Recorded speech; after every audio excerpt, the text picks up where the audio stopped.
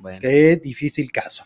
Oigan, vámonos a otro complicado caso, pero pues esto a través del podcast en boca cerrada, que definitivamente, pues Mari Boquitas, yo creo que si algo no tiene en este momento es la boca cerrada, ¿no? Ajá. Ha venido a revelar eh, todos los... eh, pues todo- todos los secretos de este culto, que yo creo que es la manera correcta de llamarlo a partir de ya, ¿no? Ajá. Este, y en este capítulo, que es el capítulo 16, publicado en México, porque creo que en Estados Unidos van adelantados, pero bueno, en México es el capítulo 16, eh, ahí te van varias cosas. Ella dice que no tenía idea de lo que sucedía en México. Esa es la misma versión de Gloria, ¿no?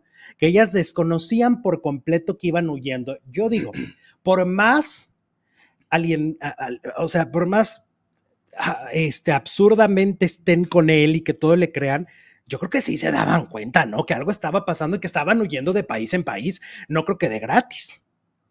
¿O cómo crees tú? No, no, pues yo creo que nadie está tan ciego como para no darse cuenta. Aparte les decía, "Ay, callen a los niños para que no los oigan y para que no Ah, los detecten. Para que no los vean los vecinos, como por, y si se enteran, ¿qué pasa? Exacto. O sea, no vayan a la embajada porque no, para sacar el pasaporte, porque, ¿por qué no? Si ya se venció la visa, ¿por qué no pueden ir a sacar otra? Ahora ya no visitaban a sus familias, ya tenían tiempo sin visitar a sus familias, ya no viajaban a México. Aparte, cuando hablaban con la familia, la familia les decía, la Interpol los está buscando, según la serie. Entonces, esa parte como que ni a Gloria ni a Mari se las creo. Luego dicen, su atención, dice ella que su atención, que por eso no estaba pendiente de eso, porque su atención estaba en Gloria, Mm. que porque tenía miedo de que, algo, de que se muriera de tristeza. Entonces, como estaba enfocada en Gloria Trevi por la muerte de su hija, no podía poner atención a que los estaban persiguiendo la justicia mexicana. ¿va? Luego dice este, que llegó la policía ese día que se habla de la detención, ¿no? Sí. Eh, llegó la policía con la administradora del edificio y cuando abren la puerta le preguntan, este, ¿cuál es tu nombre? Ella dice, ¿pa' qué? Porque dice que así les decía Sergio Andrade, que les decía, bueno, responden con, una, con otra pregunta, ¿Para qué lo quieres? ¿para qué, pa' qué quieres mi nombre? Y que le dicen, a ver, dinos tu nombre, le Soy dice la el policía. la policía. Y entonces ella les dice, María Portillo. Y él les dice, ok, si es usted, necesitamos que nos acompañe a la, a la este, comisaría donde ya estaban Gloria y Sergio. Así es como a ella la detienen. Em, dice que eh, cuando iba, ya ves que se supone que les dan permiso de llamar a sus familias, ¿no? Pues que a ella Sergio Andrade no la dejó. Que Sergio Andrade le dijo, tú no, tu llamada la voy a usar yo. Ay, no, pero ¿cómo? Pues eso es, eso es de la policía hacia el... Ah, pues que así pasó. Que su llamada Ya cuando lo la detienen hizo ya no Sergio tienen, Andrade. yo supongo que ya no tiene ningún poder de decidir eso, ¿no? Pues se supone. Se supone. Cuando ya los- cuando te detienen pierdes todos tus derechos, por lo menos en el momento que estás encarcelado o esperando justicia. Pues ella dice que no, que la llamada la hizo Sergio Andrade. Ok. Eh, dice que efectivamente, como se muestra en la serie, Gloria Trevi se puso su, su boquita pintada y todo para que no la vieran humillada y que también se lo pasó a ella el, el- el labial, el labial para que, a ver, píntate para que no te vean destruida, mana. Ok. Pero dice que ella, pues sí, estaba muy sacada de onda, ¿no? Obviamente. Dice que en las prim- los primeros días las presas hacían burlas constantes de ellas, ¿no? Y llegaron a ver en pantalla cómo decían, estas abusadoras de miles de niños mexicanos. Y ellas, oh, caray. Así decían en las noticias de allá. Ajá. Entonces dice que eso pues era muy fuerte porque realmente se sentían totalmente vulnerables y con, y con la posibilidad de que las agredieran, porque se conoce mucho esto de que a este tipo de delitos o agresores, ¿no? Cuando llegan a las cárceles, pues les va muy mal. Entonces ella tenía mucho miedo. Dice que Sergio la seguía controlando y que se burlaba de su fe, que se burlaba de muchas cosas. O sea, Sergio seguía teniendo control y te vas a ir para atrás con qué tenía el control, con la comida que le daban en la cárcel. ¿A poco? Estaban celda con celda, Ajá. pegados. Y entonces, cuando le llegaba la comida a ella, Sergio le decía, ah, porque ella le decía, Sergio, sí, por favor, gracias, ¿puedo comer?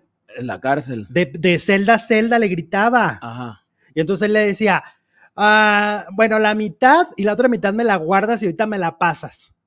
Y se la pasaba de la celda a Bueno, celda. pues eso sí lo creo, porque pues estaban totalmente dominadas y pues no. sí, No es tan pero suena de verdad de, de locura. Yo no dudo de lo que está diciendo María Requenel, pero es de locura que ya en la cárcel cada quien podía comer sus alimentos y le seguía pidiendo permiso. Pero ya después lo separaron en la cárcel, ¿no? Sí, ya, Ah, des- ya. después, pero al principio aparte dice que sin que Sergio se diera cuenta, empezó a hacer cosas que ella siente que eran cambios pequeños, pero eran cambios, como por ejemplo, si Sergio le hablaba para despertarla desde la otra celda, ella se hacía la dormida, porque Ah. como no, lo- no la veía, Ajá. se hacía la dormida, o le empezó a guardar menos comida.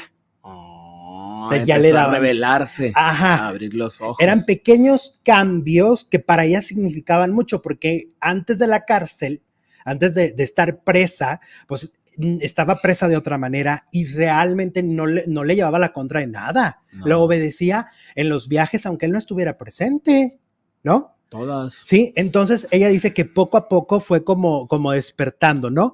Dice que sí llegaron a pensar que las iban a matar dentro de la cárcel, o sea, sí lo llegaron a, a creer, sí, sí llegaron a tener este temor por todo lo que se decía, ¿no? Porque aparte estaban en una cárcel muy violenta.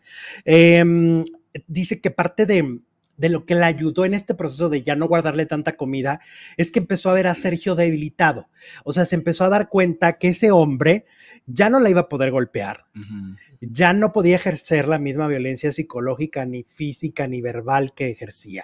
Porque las cosas, la dinámica de esta si- singular familia había cambiado, Claro. ¿no? Y aunque tardó muchos años en poder despertar y, declararse como una víctima, ¿no? Porque ella no se declaró legalmente como una víctima durante todo el proceso, ¿no? A pesar de que los abogados se los pedían.